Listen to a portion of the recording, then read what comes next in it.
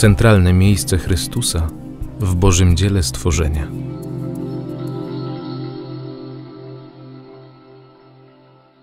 Szatan był aniołem stworzonym przez Boga, który na skutek upadku stał się złym duchem.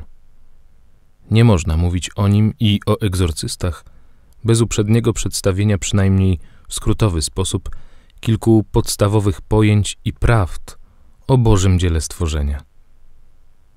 Zapewne nie powiem tutaj nic nowego, ale może umożliwię jakiemuś czytelnikowi inne spojrzenie na to zagadnienie. Zbyt często zwykło się pojmować dzieło stworzenia w sposób błędny i mylnie przyjmować następstwo wydarzeń.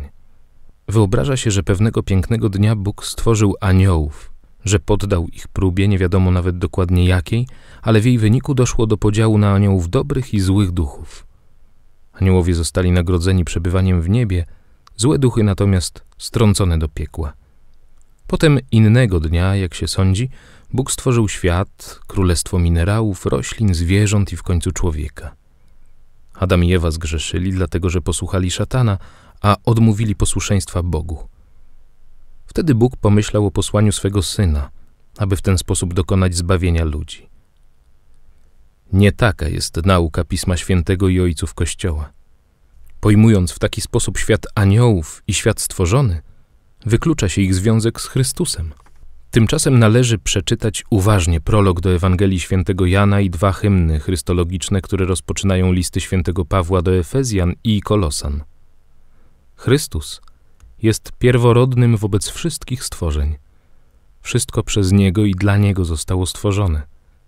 Nie mają żadnego uzasadnienia rozważania teologiczne, w których stawia się pytanie, czy Chrystus przyszedłby na świat, gdyby nie było grzechu Adama. On jest centrum całego stworzenia. W nim znajdują dopełnienie wszystkie byty stworzone, zarówno niebieskie, aniołowie, jak i ziemskie, ludzie i całe stworzenie. Słusznie stwierdza się, że po grzechu pierworodnym rodziców przyjście na świat Chrystusa nabrało szczególnego znaczenia.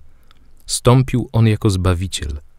Cała istota jego posłannictwa i dzieła zawiera się w tajemnicy paschalnej. Chrystus przez śmierć na krzyżu pojednał z Bogiem wszystkie byty stworzone, w niebie i na ziemi. Od takiego chrystocentrycznego ujęcia zależy rola każdego stworzenia.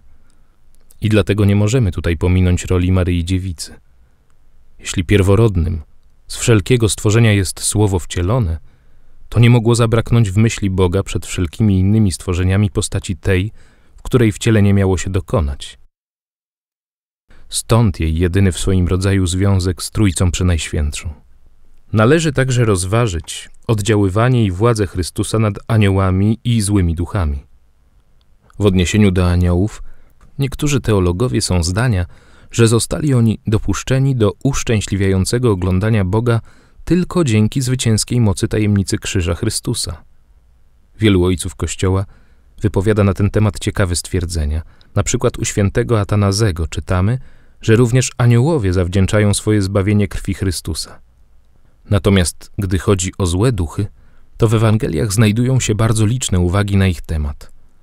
Chrystus przez swój krzyż pokonał królestwo szatana i dał początek Królestwu Bożemu. Opętani z Gadarem wołają Czego chcesz od nas, Jezusie Synu Boży? Przyszedłeś tu przed czasem dręczyć nas? Jest tutaj wyraźnie ukazanie mocy szatana, który będzie przez Chrystusa stopniowo obezwładniany, chociaż wciąż jeszcze trwa i będzie trwać dalej, aż dokona się w pełni zbawienie, gdy oskarżyciel braci naszych zostanie strącony. Dla pogłębienia tych myśli i zrozumienia roli Maryi, nieprzyjaciółki szatana już od pierwszej zapowiedzi zbawienia, odsyłam do pięknej książki ojca Candido Amantiniego Tajemnica Maryi. W świetle centralnego miejsca Chrystusa w dziele stworzenia można wyraźnie dostrzec plan Boga, w którym wszystkie rzeczy dobre zostały stworzone przez Niego i dla Niego. Można także zauważyć działanie szatana, nieprzyjaciela, kusiciela, oskarżyciela, z którego na mowy na świat stworzone weszło zło, cierpienie, grzech i śmierć. Widać również odnowienie zamysłu Bożego, którego dokonał Chrystus przez swoją krew przelaną na krzyżu. Ukazuje się także w wyraźny sposób potęga szatana. Jezus nazywa go władcą tego świata, Święty Paweł przedstawia go jako Boga tego świata, święty Jan stwierdza, że cały świat leży w mocy złego, rozumiejąc przez świat to wszystko, co się przeciwstawia Bogu. Szatan był najwspanialszym stworzeniem spośród aniołów, a stał się najgorszym ze złych duchów i ich przywódcą. Złe duchy są także powiązane między sobą bardzo ścisłą hierarchią i zachowują stopnie, jakie mieli, gdy byli aniołami zwierzchności, trony, panowania.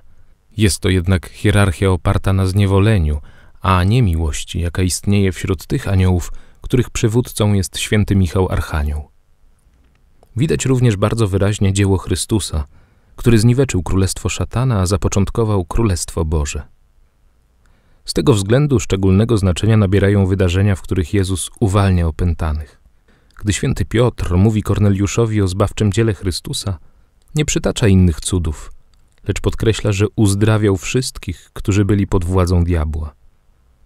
Rozumiemy więc, dlaczego pierwszą władzą przekazaną przez Jezusa apostołom jest władza wypędzania duchów nieczystych. Tę samą władzę mają wszyscy wierzący.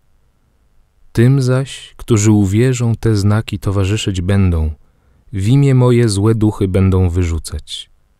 W ten sposób Jezus przywraca i odnawia Boży porządek zniszczony przez bunt części aniołów i grzech pierwszych rodziców. Powinno być zatem oczywiste, że zło, cierpienie, piekło, czyli wieczna męka, która nigdy nie będzie miała końca, nie są dziełem Boga. Pewnego dnia ojciec Candido wypędzał złego ducha. Pod koniec egzorcyzmu zwrócił się do niego z drwiną. Wynoś się stąd. Pan ci przygotował piękne mieszkanie, dobrze nagrzane. Zły duch mu odpowiedział. Ty nic nie rozumiesz. To nie On, Bóg, stworzył piekło. My sami je uczyniliśmy. On o nim nawet nie pomyślał. Gdy w podobnej sytuacji zapytałem złego ducha, by się dowiedzieć, czy współpracował przy tworzeniu piekła, usłyszałem w odpowiedzi: Wszyscy wnieśliśmy swój wkład. Centralne miejsce Chrystusa w dziele stworzenia i w jego odnowieniu, dokonanym przez odkupienie, jest sprawą podstawową dla zrozumienia zamysłu Boga i celu człowieka. Prawdą jest, że aniołowie i ludzie otrzymali naturę rozumną i wolną. Gdy słyszę, jak ktoś mówi, myląc wszechwiedzę Boga z przeznaczeniem, że Bóg z góry wie, kto się zbawi, a kto będzie potępiony i dlatego wszystkie wysiłki są daremne, zwykle przypominam mu cztery prawdy zawarte w Piśmie Świętym. Bóg pragnie, aby wszyscy ludzie byli zbawieni. Nikt nie jest przeznaczony na potępienie. Jezus umarł za wszystkich ludzi. Wszyscy otrzymują łaski potrzebne do zbawienia. Z prawdy, że Chrystus stanowi centrum stworzenia i całej historii, wynika również, że tylko wierząc w Jego imię, możemy zwyciężać i wyzwalać się z rąk nieprzyjaciela zbawienia, szatana. Pod koniec dokonywania egzorcyzmów, gdy chodzi o poważniejsze przypadki, jakim są całkowite opętania przez złego ducha, zwykle odmawiam hymn chrystologiczny z listu świętego Pawła do Filipian. Gdy dochodzę do słów, aby na imię Jezusa zgięło się każde kolano istot niebieskich i ziemskich i podziemnych, klękam także ja. Klękają obecni i zawsze zmusza się do uklęknięcia także opętanego. Jest to chwila poważna i wywierająca silne wrażenie na wszystkich. Jestem wówczas przekonany, że również zastępy aniołów są wokół nas i klękają na imię Jezusa.